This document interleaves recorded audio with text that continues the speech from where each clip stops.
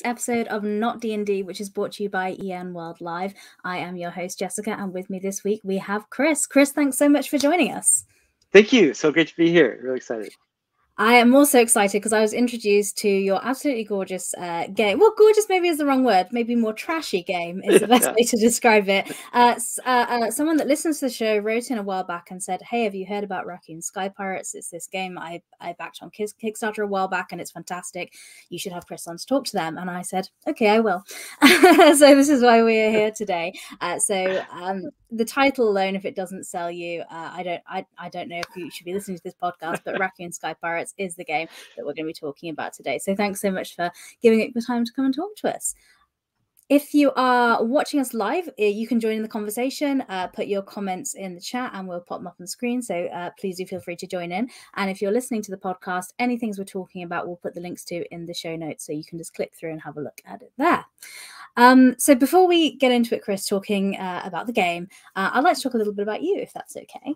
Uh, so I always ask uh, guests what their first um, tabletop RPG experience they remember having was. So can you remember your first game?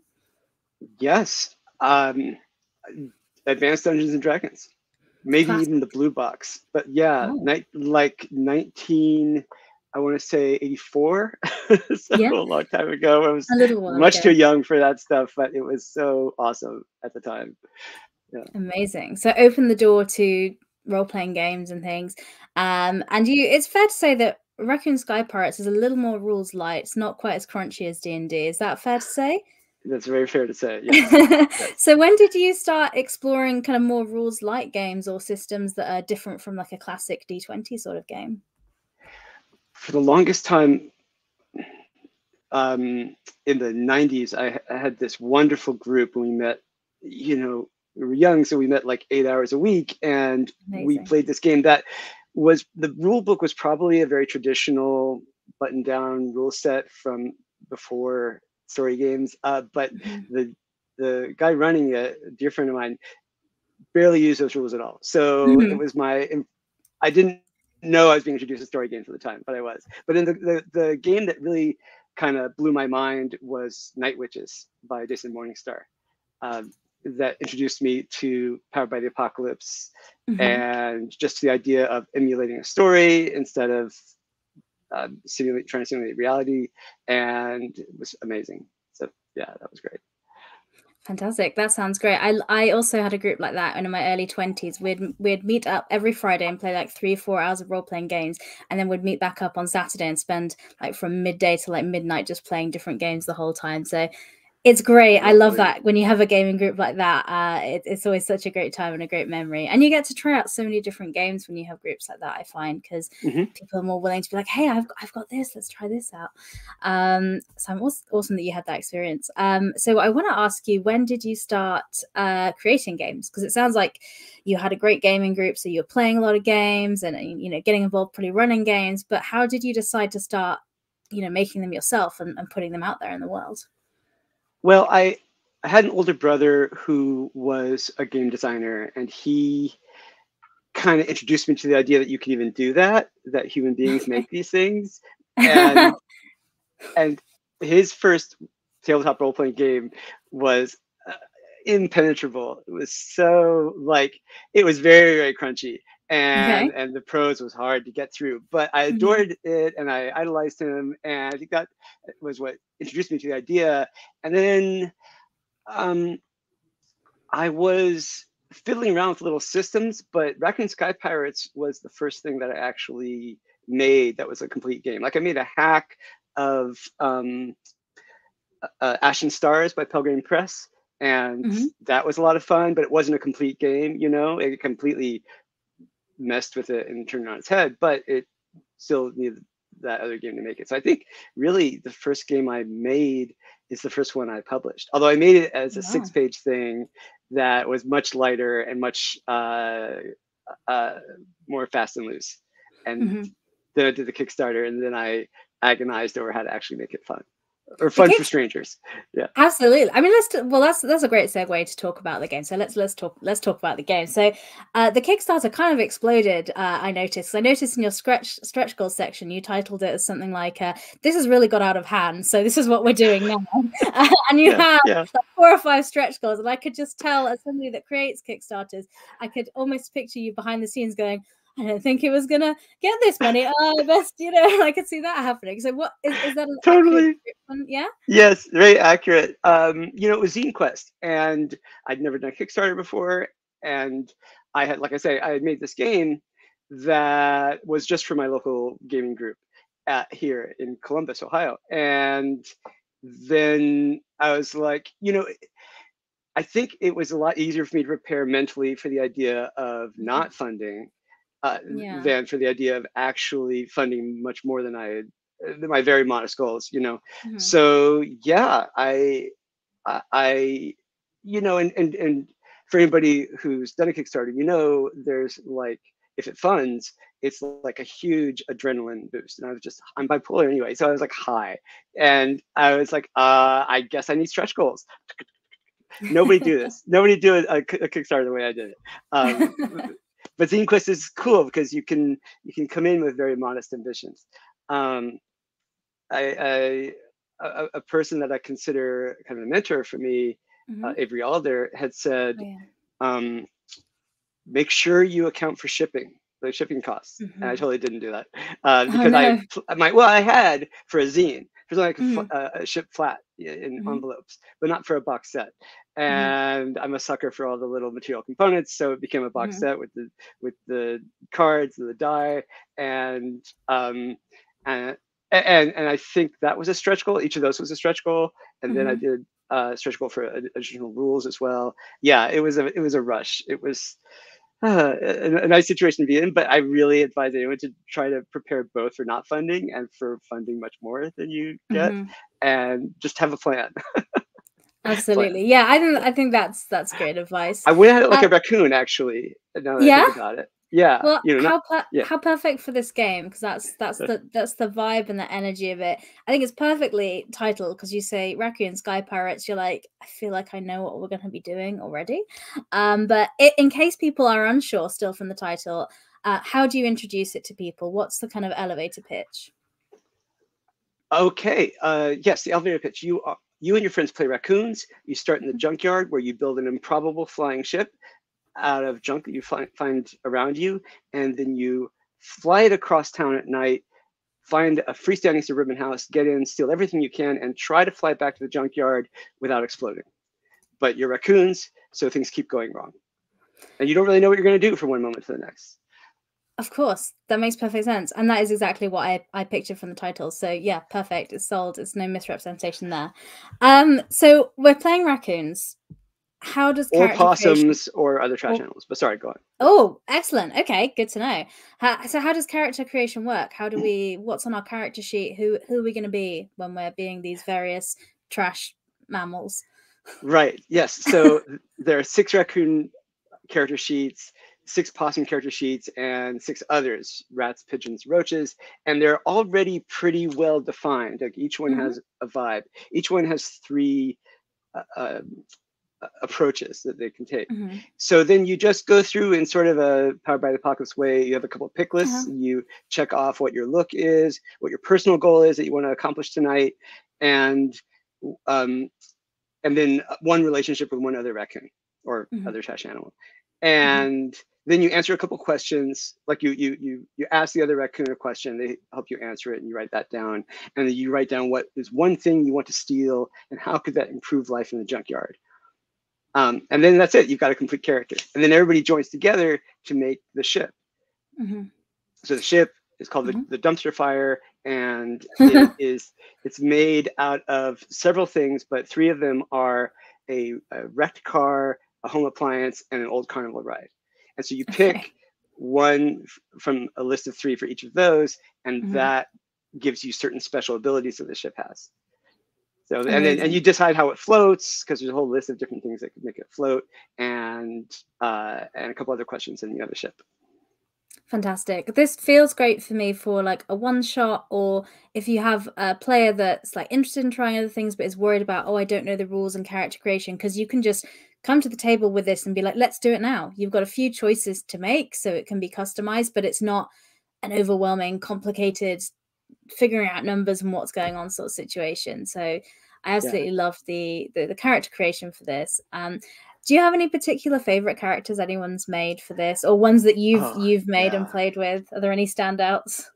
Yeah, uh, people have done great things with Brisket Jack, the swashbuckler raccoon, um, and Rabies Eddie, who's this untamable beast of a raccoon, who's like missing an ear, has got scars. People have a, a, lot of fun with those. Uh, the one that stands out from a recent play test, relatively not play a, a playthrough, mm-hmm. um, was somebody played Rad, the indestructible roach.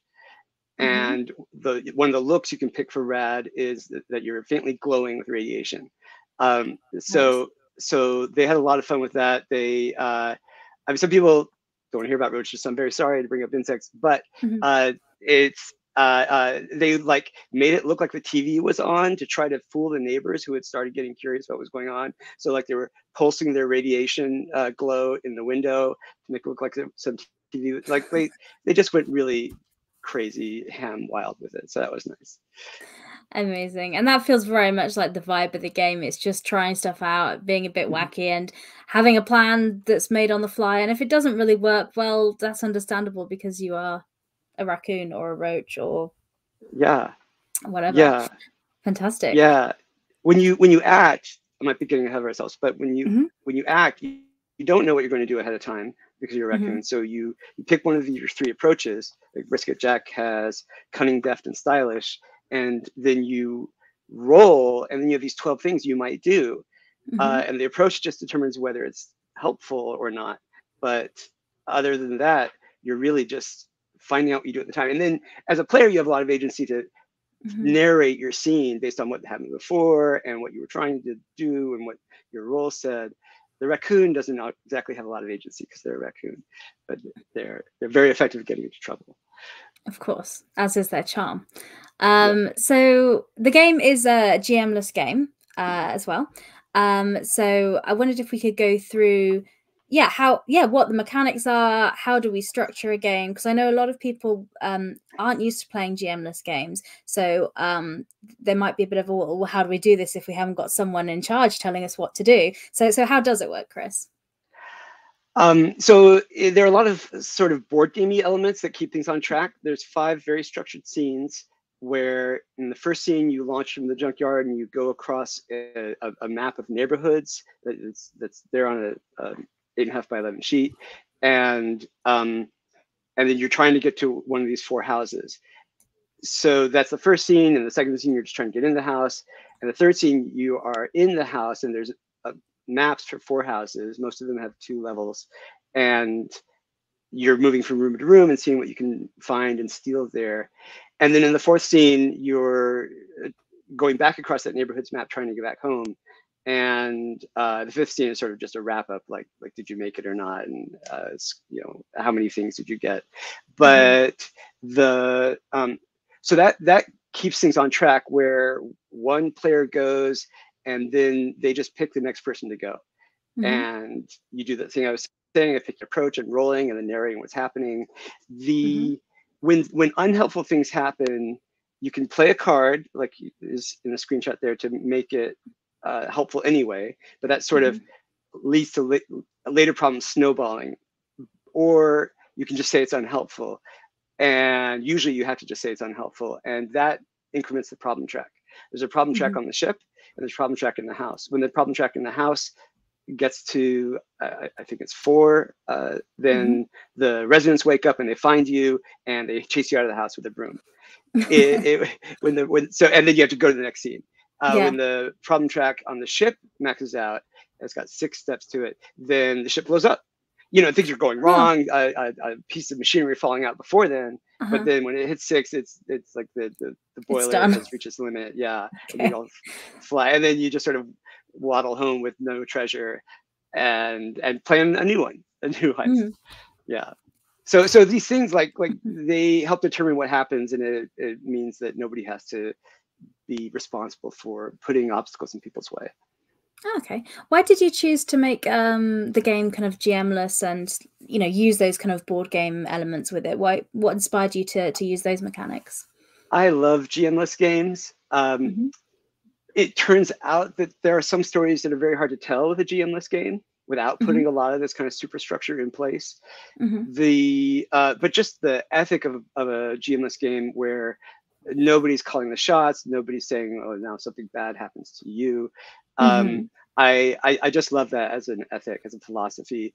It turns out it works pretty well with raccoons because they are anarchic, and uh, so long as you put some guardrails in place to, to make a an arc, a narrative arc happen. But um, it, yeah, it was it, it- it's it's just a thing I've always wanted to make is Mhm. a, a game where everybody's sharing the storytelling responsibilities. Fantastic. And also, we we talked about you chose to do it for Zine Quest, was it? Um, what inspired you to do Raccoon Sky Pirates? Where was where did the idea come from? Did you wake up one night and there were raccoons in your house and you just chase them out Almost. broom? Like, Almost. oh really? yeah there's so it was the fall of 2020 and uh our dogs woke us up in the middle of the night um we sleep on the second floor they ran to the back uh, door this upstairs back door that goes out to this deck and i looked out and i was half asleep and i couldn't see anything it was dark but my partner looked out and saw half a dozen raccoons waddling around turning over little things and looking at them and putting them back down uh, pooping in the flower pot, and Wow. um, it sounded to me like they had climbed down an anchor chain from some floating ship and gotten onto our uh, uh, back deck. And one of them was was was trying to get under the door, like trying to figure out how this door worked. And the dogs Mhm. were, you know, huffing raccoon through the crack at the bottom of the door. Mhm. And if they had gotten in, it just would have been such a disaster. It would have been, you know, uh, Benny Hill music and just like Mhm. chasing yeah, yeah, yeah. And uh, I, I, so, so I think because I didn't see it, I had to make a game about it, Amazing. visualize it better. Yeah, the Benny Hill theme tune is an excellent reference point as well because I can just picture it like there and the raccoons are running around, your dogs are there, and then you're running around after the dogs. Yeah, totally yeah. useless. Everything in, in fast forward. yeah, yeah, yeah, amazing. yeah. um the illustrations are really great in the book as well and they kind of capture the the, the scrappy feel of it and also the the chaotic nature you mentioned so people have written in saying they, they kind of love the art style of it um what was the inspiration behind the art and and how did that process go Um, well, I did the illustrations, so I, I Mhm. s- was really like, um, I think I was sort of feeling out the style as I went, but the scratchy quality of that pen seemed to really fit with the scruffy, sc- scraggly raccoons. Um, Mhm. of course, the black and white is not too far off from how raccoons look in full color. Um, Mhm. And it was a zine, so I wanted this black and white thing, but I also really wanted a handmade feel to it Mhm. um, because well because the zine and and you know zines Mhm. go back to at least the 80s with the xerox machines and all that and i so i wanted it to have some some feel of hand to it which made it Mhm. more work but uh but very worthwhile Yeah, a friend of mine who uh, is new to role playing games, and they've been they've been listening to show and talking about stuff, and they forgot the the word for like zine RPGs, and they said, you know, like artisanal RPGs, and I thought that was an excellent thing, and I think maybe we should rebrand as artisanal RPGs. And I was like, yeah, that's kind of what it is. Like you can tell somebody's like made this at home lovingly. It's not like a mass produced Yeah. kind of thing. So yeah, it does look nice and artisanal. So ah uh, great yeah. thank you small batch like like whiskey or made or, or yeah, potato like high- crisps yeah. exactly high yeah. quality made with love like yeah yeah, yeah. yes yeah fantastic um so if um people are kind of interested uh, in the game like you mentioned there's like just a pdf version there's a book or there's Mm-hmm. a box set what are kind of the where can people get these and what are the differences in and kind of what's available you can get the pdf on itch.io Mhm. um, and it has you know the pdf is good because you can print out multiple copies of the maps and and the character sheets and mark them up and and Mhm. all that um, but it comes with so you need you, i believe in there there's a link to where you can get downloadable cards and just play Mhm. cards with the cards online um, the great thing about the box set which you can get at hecticelectron.com yeah you've got it thank you um, is that it comes with an actual deck of cards and it comes with a raccoon die a little 12 sided thing with a raccoon on the 12 and these sort of junkyard numbers where every number is different. And it's just got yeah thank you. It's got these great um, material components to it. It comes with that booklet and then these uh, printable play sheets. But if you buy it online i mean if you buy uh, the box set then you can get a link to the pdf also. So you can print out more sheets things like that Fantastic. Um, if that, I think that's great in the US. In the UK, I have seen it's in some retail stores online. So if you're yes in a different country, if you if you Google it, you might be able to find a local retailer near you as well. Because that's where I came across it, which is so Indie great to see. Because sometimes great for that sorry to interrupt yeah no, they've, they've been they've been distributing it to uh, uh, the uk and australia and i think some other places so that's been fantastic Yeah, so which is great to see because sometimes, like, uh, you know, zines you get that are in North America, you can't get outside of it, and the rest of us in other places in the world are like, but I want this. But you can get this one. So people listening that have written in and said you can only get this one in the US, I'm, I'm sorry. uh, but there we go, that's available there. Um, so in terms of kind of the rules, we've done like you know the overview, the structure of the of the five. Uh, you just got the D12, you've got the cards if everyone's got you know they bought their copy they're ready to play what advice do you have for people that are, are playing this game for the first time and maybe playing a gmless game for the first time as well i would uh, go with it you know get in character sort of Mhm. think like a raccoon there are you some people play where they make an intention of what they'd like to do and then they roll and they see what they actually do. And that can be fun. That's sort of a little more conventional and it can um, give you a feeling of a little bit more agency but it might give you too much to narrate. Some folks Mhm. recommend and i think i would recommend not having a single thought in your mind before you pick your approach and roll. Just have an approach. You know i'm i'm i'm being uh, uh, daring or swashbuckling or whatever and and roll and say okay i just got this idea i'm going to do x and and and then i think it goes a lot uh, more smoothly if Mhm. you sort of give into the randomness basically Mhm. give into the randomness just no thoughts just vibes just just sounds great. vibes totally yeah just raccoon just be Raccoon chaotic be vibes. raccoony And I think the the great thing about this game is that you don't feel like you have to do things perfectly because I know some Mhm. people that are trying a new system or a new role playing game worry about doing the right thing. But I think this game gives you the freedom to do whatever because it's like you're a chaotic raccoon. You're gonna make silly choices. So yes, good. Like if if you, if you make the wrong silly choice that's clearly chaotic, that's correct. Uh, Right, So right. yeah, yeah, fantastic. totally there's um i the people you know it, it comes alive with the people at the table so Mhm. um if if people get into their characters and get into sort of the mission of this Mhm. heist this raid of a house i think a lot of stuff just emerges from that it's been really great to see So Fantastic. go with it And do you have any other particularly great stories from from playtesting or playthroughs that you've done that you that you'd like to share with us, just to inspire people if they're they're trying to think about what their experience is going to be like? yeah yeah the the um i i think that what's been great has been when people raccoons the, the characters kind of um take a uh, uh like, like like take a hit for each other you know? Uh the um the the the Maria Triple XL is this like you know big beefy raccoon, and um, uh, she was like protecting Kit, who was the smallest, littlest raccoon. Oh, Um, yeah, yeah, but all Kit wanted to do, so you know, because you pick a goal at the beginning, mhm. and all Kit wanted to do was put on a vaudeville show.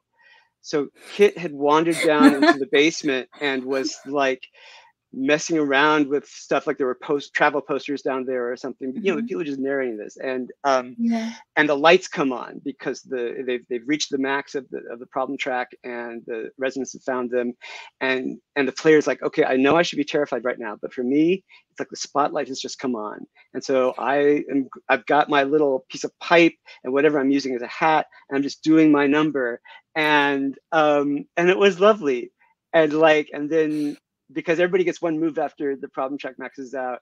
Uh, mm-hmm. so then he was like, okay, then I get out of there.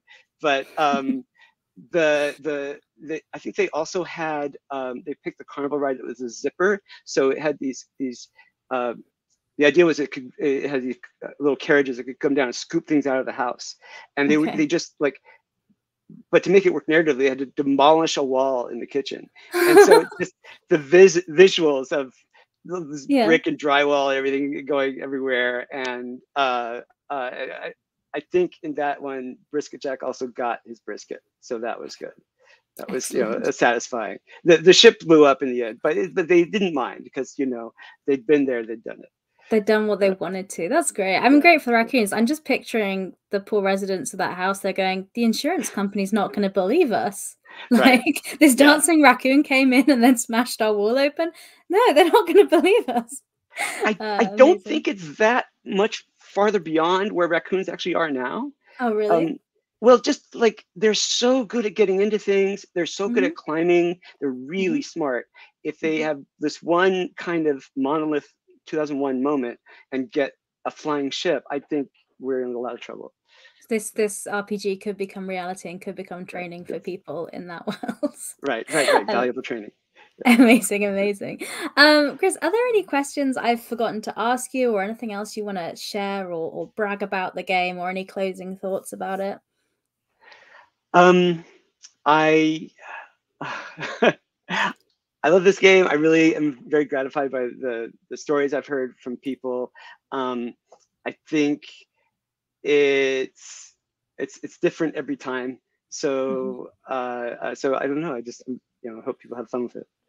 Amazing, thank you. I'm sure they will. I'm looking forward to running my first one shot of it for sure. Um, we're wrapping up getting near the end so if people had some questions to ask you that they they perhaps listened to the podcast or, or didn't get the chance to on the live where's a good place to find you on the the internet would would tumblr be a good place to get tumblr's good yes mm-hmm. at hectic electron i'm at hectic electron everywhere but tumblr's where mm-hmm. i'm uh, paying the most attention mm-hmm. um, mm-hmm. and if you uh, come to my website you'll see i also have a newsletter which i forgot to mention earlier but oh, um, it's like this all good vibes um, uh, I call it everlasting, never-ending game night. So it's just about all the great things from tabletop. It's very positive. Fantastic. That sounds great. I'll take a look at that. Um, another question I have for you, though, is uh, do you have any tabletop RPGs that you'd like to recommend or give a shout out to? And the rules yeah. are it can't be D&D because this is not D&D and it can't be a game that you've made because we've just spent a bit of time talking about one of your games. Yes, sure have. Um, I am deeply in love with Apocalypse Keys by Rae Nedjadi uh, mm-hmm. that had a Kickstarter last year, I think, mm-hmm. and mm-hmm. is just wonderful and it's inspira- big inspiration for my next game. And uh, Thirsty Sword Lesbians is just yes so good. Yeah.